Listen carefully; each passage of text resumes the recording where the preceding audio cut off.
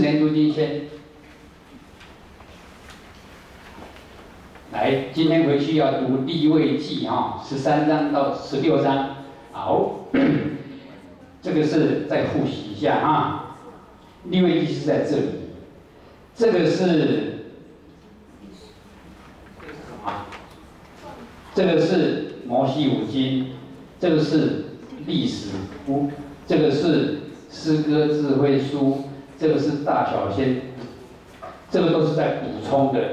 补充的，那现在利用机给它跳到上面，因为他们没有走动，哦，在西南山没有走动，所以爬到上面去了。这个是有在走动的时候，好，那这个就是一直停在西南山哈。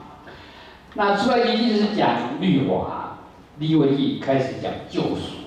那要救赎的时候，救赎的时候呢，因为神说他是圣洁的。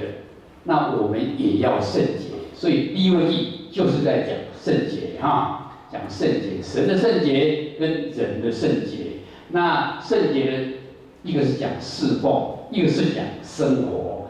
那在侍奉上的圣洁呢，就是靠什么？靠祭。所以呢，有五个祭，然后有一些条例哈。好，哪五个祭？第一个。环祭，第二个照次序好不好？环祭，第二个呢？数祭，各位呢？平安记，各位呢？数数罪，然后数钱啊！来念一次：环祭、数祭、平安记、数罪记、数钱好。然后呢，有一些条例啊，什么条例？然后接下去他们祭司就开始献祭了哈。好，那后半段是讲生活啊。那生活的时候，它的原则就是什么？把洁净的、不洁净的把它分开来啊。这个生活就是什么是洁净，什么是不洁净，要分开来。那就这这些东西通通要分开来啊。那食物。上次有介绍过了啊，不洁净的啦，洁净的啦，可以吃的，不可以吃的啦。但是好在保罗加上去了哈，什么都可以吃，所以我就这个就不管它了啊。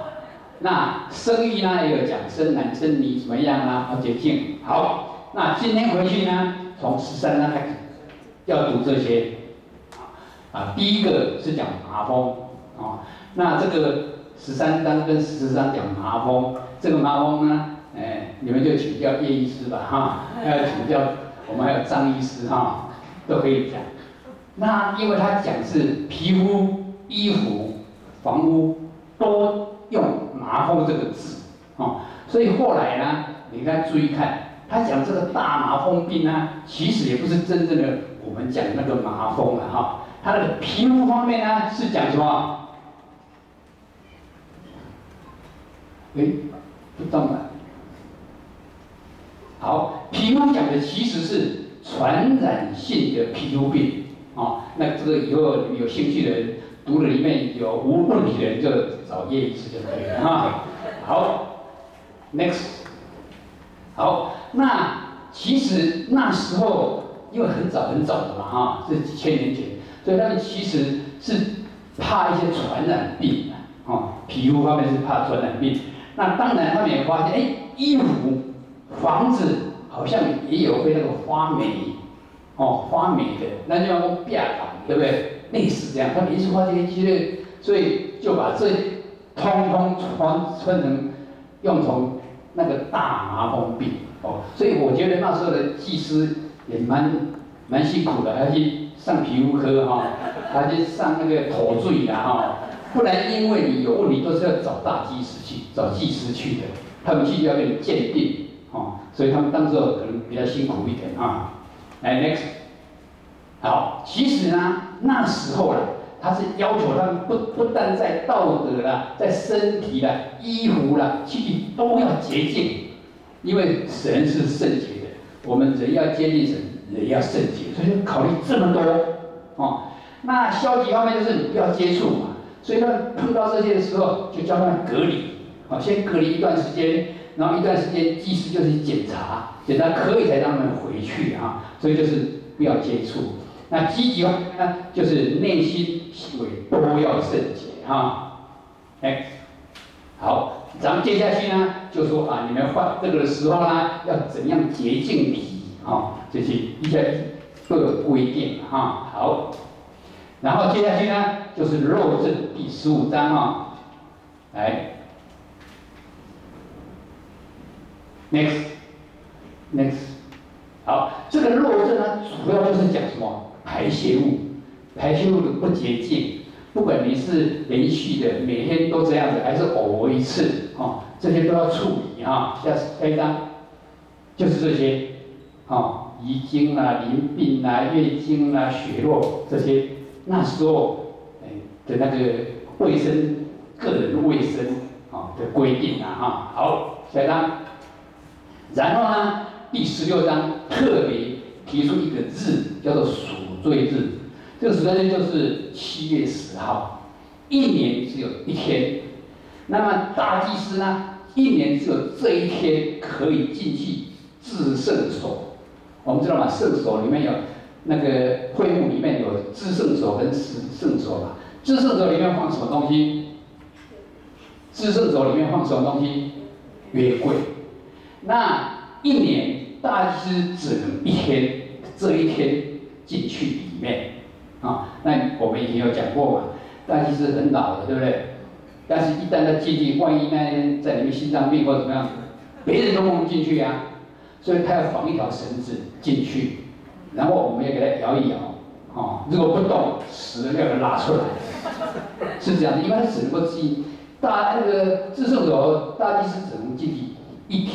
一年只能一次，就是对不对啊？七十啊，因为这个所主罪日呢是他们全民的中心，所以这这一点很重要啊。来下一张，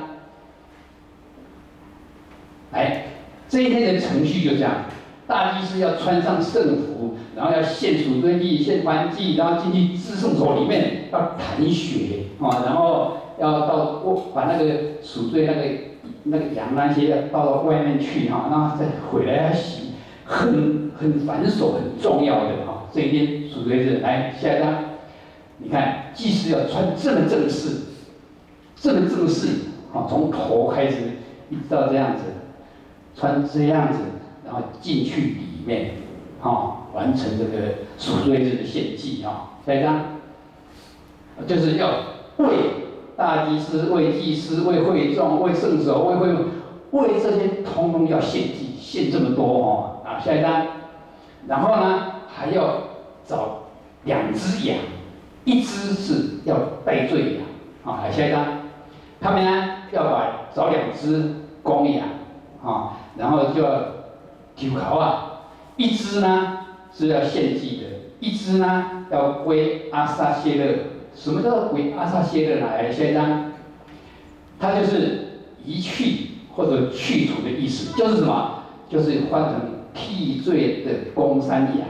这一只要给阿萨谢勒，他祭司要把手放在他的脚，把以色列的罪通给他，然后把它放弃去旷野，就把那个罪带出去。他们就是这种意思啊，所以这一只叫做带罪羊啊，来下一张。那这一天。七月十号这一天非常重要，他们要怎么样呢？要刻苦己身，刻苦己身就是什么？要进食，要认罪，要忏悔，要祷告，这些他们这一天非常严肃啊，而且非常认真做这些事，啊，这叫做赎罪日，所以要用第十六章来写这个赎罪日哈。好，下来，好，没有了哈。就是回去会读到第这个第十六章哈，好来进去，要背新的了哈。那本来本来今天是一个要背的，但是。